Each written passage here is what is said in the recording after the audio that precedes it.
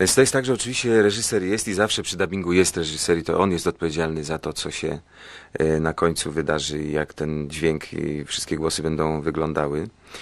E, Natomiast jeśli chodzi o tak zwane postaciowanie, no to tutaj pole do popisu jest dość ograniczone, powiedziałbym, jeśli chodzi o indywidualne jakieś pomysły, dlatego że trzeba jednak dopasować się do głosu oryginalnego. W tej chwili to też jest wymóg. Zresztą jest osoba odpowiedzialna, która przyjeżdża stamtąd za to, żeby y, jakby wersja oryginalna od wersji tej dubbingowanej różniły się jak najmniej, tak na, naprawdę. No dobra, wielkoludzie, robimy włam na imprezkę.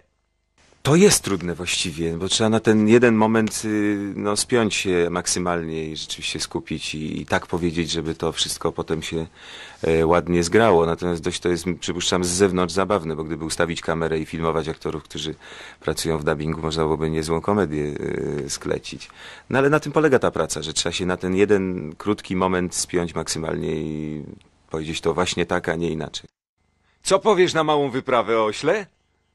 E, Zatem e, no jednak trzeba się wpasować, jak powiedziałem, w to, co zrobił, e, zrobił aktor, który podkładał głos w oryginalne. No czasu do czasu można przemycić coś swojego, ale dotyczy to raczej bardziej warstwy słownej, werbalnej, czyli te, kogoś, kto tłumaczy ten tekst. Tam można troszkę jakby szerzej. Natomiast ja po prostu wpatruję się w to, co widzę na ekranie i staram się jakby intuicyjnie dopasować głos do, do postaci, która tam grasuje po tym ekranie. Akurat w wypadku Shreka to nie było takie trudne, bo Shrek jest tak miłym i sympatycznym stworzeniem, mimo że bardzo dużym.